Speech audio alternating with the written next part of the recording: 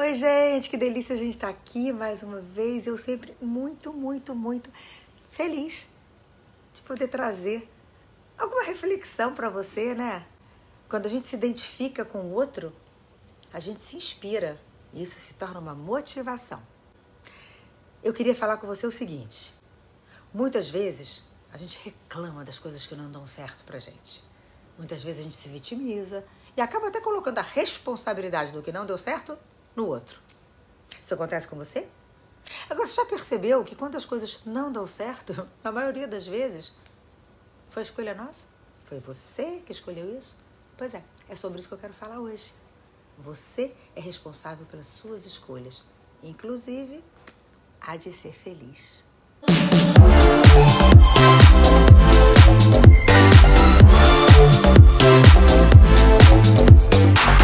Todo mundo ouve o tempo todo essa frase. Você é responsável por suas escolhas. Você é responsável pela sua felicidade ou infelicidade. E por aí vai. A questão é que muita gente, muitas vezes, continua fazendo as escolhas erradas. O que eu quero dizer com isso, gente? Vamos lá. Aos 17 anos eu tinha uma vida de princesa. Fazia muita publicidade, fazia muita novela, pagava todas as minhas contas, eu era reconhecida profissionalmente, eu era uma menina absolutamente feliz. Uma vez eu dei uma entrevista, que inclusive o título da entrevista era, era A menina que não sonha, realiza tudo o que quer. Mas aos 17 anos tudo mudou. O meu pai precisou mudar de cidade e eu tinha duas opções: ficar no Rio e continuar trabalhando, ou ir para Belo Horizonte, que era a cidade que meu pai estava indo, e abandonar minha carreira. Naquele momento, eu estava namorando um cara que era bem ciumento. E ele disse assim para mim: se você fizer a novela, a gente vai terminar. Eu vou terminar com você. Gente, eu era apaixonada, 17 aninhos. O que, que eu fiz? Optei por ir para Belo Horizonte para continuar o meu namoro e abandonei a minha carreira. E essa escolha mudou completamente a minha vida. É lógico que o namoro acabou, gente. Ele terminou comigo por telefone. E a minha vida virou um vazio, porque eu perdi tudo que efetivamente me fazia feliz a minha carreira, os meus amigos, o namorado, Rio de Janeiro.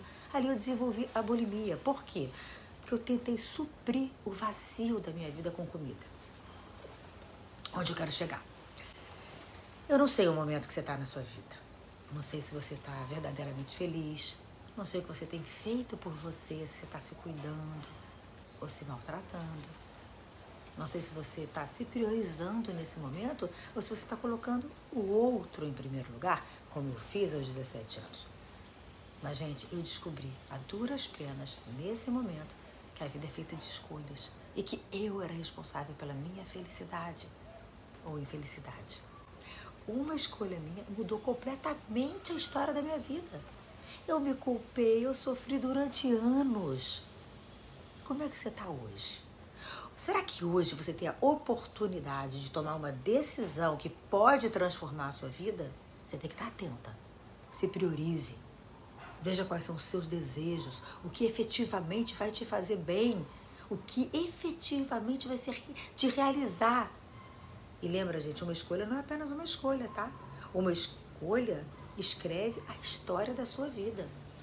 Ao longo da vida eu fiz escolhas erradas que me trouxeram muito sofrimento a maturidade, as minhas dores fizeram entender que sim, que eu era responsável por todo esse fracasso, por todo o fundo do poço que eu já tinha me metido. Só eu, mais ninguém. A gente precisa parar de responsabilizar o outro pelo que dá errado com a gente. A gente é responsável. Hoje eu tomo muito cuidado para fazer as minhas escolhas, porque as minhas escolhas definirão o meu futuro. E fica aqui a minha dica. Todo dia você tem a oportunidade de mudar a história da sua vida. Depende da escolha que você vai fazer. E aí, aí eu te pergunto, qual a escolha que você vai fazer hoje? A sua vida, ela é só sua. É você que tem que fazer por ela. Espero que vocês tenham gostado dessa minha reflexão. Tamo junto e misturado. Vou te pedir para escrever aqui para mim o que, que você achou, o que, que você sente, como você se sente. Você está se priorizando? Escreve aqui para mim. Sim, estou me priorizando. Ou não, Monique, preciso me priorizar. Curte. Compartilhe esse vídeo com quem você acha que está precisando escutar isso. E lógico, se inscreve no meu canal, é sempre tão bom para mim, eu fico tão feliz. Gente, obrigada. Faça por você